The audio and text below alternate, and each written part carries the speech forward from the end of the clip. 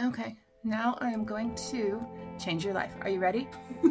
You're gonna be so excited. I'm gonna change your homemaking life anyway. Da da da. You wanna see my favorites? Ooh. Ooh. Ever wonder what a midlife crisis pseudo vlogger looks like? Welcome back to the Helpful Home. I'm Sunday Dawn, and on today's episode, I am coming at you with my first ever favorites video. In fact, it is my first ever collab with my sweet new YouTube friend, Jessica Myrose. We have swam in similar circles peripherally in the YouTubeverse. I will say, if that's such a thing. We're both friends with Joy from Organized with Joy, who is on my Tiny Tidy team on Tuesdays. And in fact, I will say that's going to be probably a slight difference in our content today. Me and Jessica are at two very different stages of life. She still has small children at home, so her links to her favorites are probably going to be things that are helpful while still feeding a big family or caring for a family with littles at home. I am a 47-year-old nana of almost four, fourth grandbaby due this Christmas, and and so I am heavy into my Nana era. I spend most of my time playing with grandbabies and doing the hobbies. In fact, my oldest told me a couple of years back that I was very good at my midlife crisis. So I'm going to take that as a compliment. One of those midlife crises is a home organization YouTube channel. So most of, if not all, all of my favorites are going to have to do with either home organization or just life organization. So these are my favorites to help organize, beautify, and just make your life more darn fun. Okay, so I'm going to start right off here in my home studio with my favorite organization items that I use to keep all of my midlife crisis hobbies and side hustles organized. So um, one of my favorites, which you cannot get because it was a custom build by a dear friend of mine, is my desk. But let me say, what helps about this desk, I one of my hobbies is painting, so the top has been well loved, but it was beautiful when they first finished it. They custom built me this top, and we put it on two sawhorses that can easily be folded up, top can be popped down, and if somebody needs to sleep and this spare room needs to function as a guest room, which doesn't happen often, but it happens on occasion, I just fold that up and I pop out my hobby storage, which is stored safely below my desk, completely out of reach of my feet. I can sit here in my rolling desk chair and my feet don't touch. This is the Sonoma Artisan File Box off of Amazon. I will link it or something similar for you in the description box. All of these links, I'm going to grab one of these for you. All of these links are unaffiliated, save for one, and I'll let you know which one of those this is. Most of these are just my favorites. So what I love about it, oh, I did know this was the empty one. You always need room to grow, right? So this is the empty one. I thought I would pull it out and show you how it works. But what I love about it is that, first of all, there's a place for a, as you can see here, a label. I do not have these labeled. I am actually a fan of the labeling, but these shift around kind of often based on what part of my business I'm heavily involved in, based on the time of year. What I love about these is you simply pull the bottom fold in the sides and put it all together within the lid and then it can just be stowed away. So when they're empty, they are not taking up a huge amount of space like a traditional tote would. Um, yes, this one is a little dirty. I, I just preferred the cream and it's worth it. These do come clean with a damp rag and a little bit of oxy and I do that on occasion. They also come in gray, so I shall link both. So the Sonoma Artisan file box on Amazon. It'll change your life, man. This used to be full of cardboard boxes of merch and packaging and supplies. I've got a palette drying up there right now from this morning's paint and, and it serves as a laptop holder when in a pinch. So the Sonoma Artisan File Box, favorite number one. In fact, I'll show you somewhere else I currently use that file box. Currently have two of them stored up here with photo projects that I'm working on and the top one is almost empty. So what I love about it is when it becomes empty, I pull it down, I fold it up, I tuck it in here with the other foldable storage always buy foldable storage, people, because you don't want to have to just have huge totes. in your attic or your garage, taking up space. And this is a comp, so I'm going to include this in my description box as well. This is the Decosis hanging file folder box in gray tweed. I believe it also comes in cream. This is the one we just used to organize my newest baby grandson's closet. Um, he was born last Christmas, new grandbaby due this upcoming Christmas. Boy, are my girls keeping me busy. Um, but as a new mom, she preferred this one. You just pop out the bottom, same as the other, fold it in, but the lid is attached. So you're a new mama, you don't want to be trying to keep track of lids. As you can see behind me, what goes on in here also is a lot of photo organization. I am a project lifer. I now do it on the app mostly, but I have a lot of scrapbooking supplies, I hate that word. So not a scrapbooker, but I am a documenter. I do like to document my family history. I love to take photos and I love to do something with them. So we host Photo Club Friday here on my channel every first Friday of the month. And so some of my favorites involve my photo organization storage. I got all the rolling cards, people. I got all the rolling cards like I said, too many midlife crisis hobbies, but here is my current painting cart. I am not going to list this one in my favorites because it's not my favorite. There are two, and this one is my favorite. It is so sturdy. It is from Ikea. I will list it or something comparable in the description box. And I literally, here are the two current albums I'm working on. I'm working on a Disney World vacation album here are the photos sorted for that one. And I'm working on finishing up an album, oddly, from, it's such a weird one, from 2020, from 2020. Oh, talk about a heavy album to do. Um, but that is the album where I switched to the app. So I have currently worked forward because I like to keep up on my photos, but that was the album in between where I was still partway through physically project lifing them. So I had project life physically and then the other ones I was working on digitally and it kind of just gave me a little brain bump and I went like, ah, I don't know how to finish that one. But all I had left to do was the candids for the year. Here they are. It gives me a perfect place to store my sorted photos for the rest of the year, the cards that I'm using for those current albums, and the albums themselves. And I literally roll this puppy out right to my family room if I'm wanting to work with my family, which often I'll work with my, my family or hubby while we're watching something in the evenings, and I can roll it right out, work on it, and then roll it right back. Oh, my nightlight. So, yeah, love it. Super easy to maneuver, really, really easy to put together, well made, one of my faves. And you know what I'm to do? I'm to come right on out here to my Project Life bookcase, and I'm going to link my We Are Memory Keepers brown leather 12 by 12 scrapbook albums in cinnamon. I'm going to link them. I get them on Amazon. You can also get them on the We Are Memory Keepers website, but they are one of my faves. One of my favorite things, best investment I ever made was re-albuming all my photos into matching photo albums that are binder style so I can add and remove as I wish. As you can see here, I have got 98 through, yeah, 2020 is missing. Even somebody crazy photo obsessed like me has blocks. So still finishing 2020, but then I did continue to move on. These are just done in, these are just done in the app. So to show you what that means, this style, I now do the pages in the app. I have them sent to me. They come in a 12 by 12, although they're project lifestyle with journaling and everything else. So, oh, talk about 2020.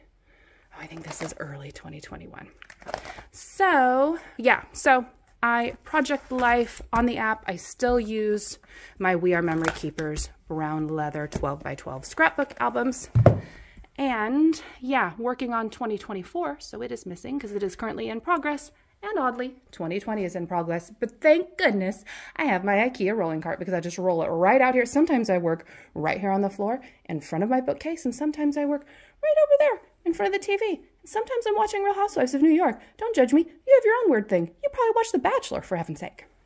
Okay, now I am going to change your life. Are you ready? I'm about to change your life. You're going to be so excited. I'm going to change your whole making life anyway. Um, every woman's most dreaded chore, folding the fitted sheet. I'm not going to teach you how to fold a fitted sheet because who the heck knows? But what I am going to teach you how to do is how to hide it. Hide your ugly people. Hide it. Nobody wants to see the ugly things. You just hide them behind da da da sheet boxes. This is the Yakaye bed sheet organizer in beige. I will link it below. It is life-changing. It has a place for labels too. I Gotta tell you, I love a label as you can see with my albums, but um, I really, I don't tend to waste time labeling things like sheets with a little clear holder. But anyhow, the label could be lovely if you so choose to label. But what it does is it holds your sheets. And so nobody can tell that you really didn't fold them very good. In fact, I folded these two good. Somebody was going to see them. And so, um, so I folded them nicely. But who the heck folds sheets nicely? And to be quite honest, let's show you. Okay, so how it works is these pieces Velcro right atop. And this part zips. And then your sheets. As I said, way too nicely folded because, you know, the YouTubeverse was going to see. But truly, you could just roll these puppies up into a big... I actually did a pretty darn good job. actually did a pretty darn good job on that. Who knew? But really, you could roll this up into a wad. You could just stick a wad of sheets. I've done it with my daughter's sheets. And you just fold that over, zip it up, or not if you don't want to take the time.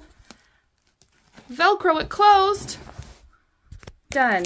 Okay, maybe you should zip it. But you get the you get the picture. Okay, there. I did it correctly. Zip it up. Zip it up and it will close correctly, beautifully. I actually have four of these. They look so lovely all stacked together in my closet on the shelf. And everybody's like, dang, that girl organized. Now you're to have to excuse the bad light here because it's to be weird indoor lighting because my laundry room has no window, but I have to include this because if you're to ask my favorites to beautify your homemaking life, it is absolutely these caddy and organizers from Walmart. I got them at my Walmart neighborhood market. I did not see them online, but I have seen them at multiple Walmart neighborhood markets. I have gifted these to friends. I've had friends just go buy these on their own because it is such a nice thing to be able to keep all of your cleaning supplies. I've got my methods in the front, my Mrs. Meyer's in the back. They are ready to go. And then this is for laundry pods, I believe. I keep cleaning rags and a grout brush. And then my cleaning rags are ready and available right next to my cleaning caddy and it just makes each day so much easier especially if you're going to do a big clean of the bathroom. You just pull those things aside take them in the bathroom and I will show you the other place I use my favorite caddy. Okay the other place I use my favorite caddy is under the kitchen sink and it hides a multitude of sins. So um, my sort of extra cleaners that aren't daily use they go in the back. They're sort of in there in an organized fashion, but it wouldn't matter because in front is my Walmart metal caddy. So I have, I have, I believe this is like fruit and veggie wash. This is my flat top stove cleaner. I've got stainless wipes. I've got Keurig cleaner in the back. I've got scrub brushes yeah, it, ha it houses everything I need. Dish soap is actually in a pretty bottle on the top, so my dish soap is not there.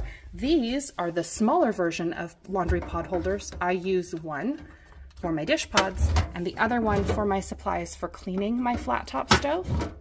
And yeah, like all three of those metal cleaning caddies or laundry soap caddies are just probably my very favorite home organization items to beautify your homemaking life. Because, listen, I was raised by a 1950s housewife and she was the original romanticize your lifer.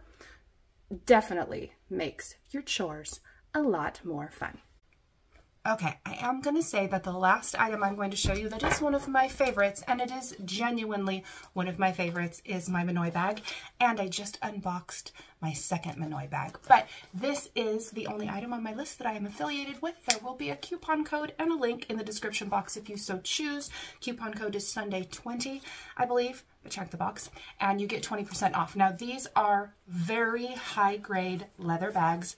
Almost all of them have an organization element, some sort of wallet inside. It is my favorite feature. I love anything to keep your life organized, as you can imagine.